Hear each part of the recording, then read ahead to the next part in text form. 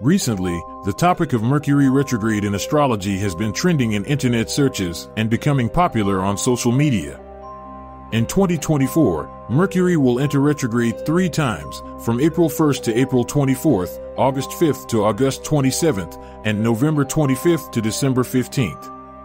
You may have heard that during Mercury retrograde, various communication mishaps and misunderstands can happen. Many people find themselves curious about these celestial events and their supposed impact on daily life. Mercury retrograde is an optical illusion where the planet appears to move backward relative to Earth for about three weeks.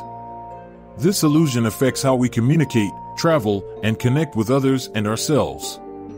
Despite the disruptions it is said to cause, Mercury retrograde is not actually the planet reversing its orbit. While astrology may seem harmless or even intriguing, it's important for us as Christians to approach such practices with discernment and a commitment to truth. So, let's explore the phenomenon of Mercury retrograde, along with the dangers of embracing astrology. 1. Scientific perspective of Mercury retrograde. Mercury retrograde is a fascinating scientific phenomenon that occurs when the planet Mercury appears to move backward in its orbit around the Sun. This optical illusion happens due to the relative positions and speeds of Earth and Mercury in their respective orbits. While Mercury isn't actually reversing its path, its position in relation to Earth creates the illusion of retrograde, backward, motion. From a scientific perspective, Mercury retrograde is a natural occurrence with no spiritual significance at all. Mercury retrograde is simply a result of the complex dynamics of our solar system. In reality, all planets undergo retrograde motion at various points in their orbits. Mercury's retrograde periods tend to be more frequent than other planets because of Mercury's proximity to the Sun and its faster orbital speed. During Mercury retrograde, the planet appears to backtrack through the sky's zodiac for approximately three weeks. But Mercury retrograde is only an optical illusion. As Christians, we can appreciate the beauty of Mercury's motion as a fascinating aspect of astronomy. We can learn more about nature, including the other planets in our solar system, and let that inspire us to appreciate our Creator's work in creation. However, we must be careful not to attribute any more significance to the motion of planets in their orbits than is truly there. Instead of trying to read meaning into the way Mercury moves through the sky, we're called to find meaning directly from God. Real wisdom comes from the Creator, not from creation. Proverbs 3 verses 5 to 6 encourages us Trust in the Lord with all your heart and lean not on your own understanding, and all your ways submit to Him, and He will make your path straight. 2. Astrological perspective of Mercury retrograde. Astrologers associate Mercury retrograde with confusion, frustration, and chaos.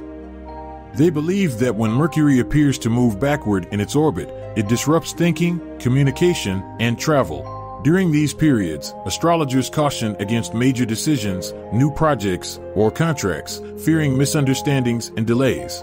But while some blame Mercury retrograde for life's mishaps, others urge discernment. As Isaiah 47 verses 13 to 14 warns, all the counsel you have received has only worn you out.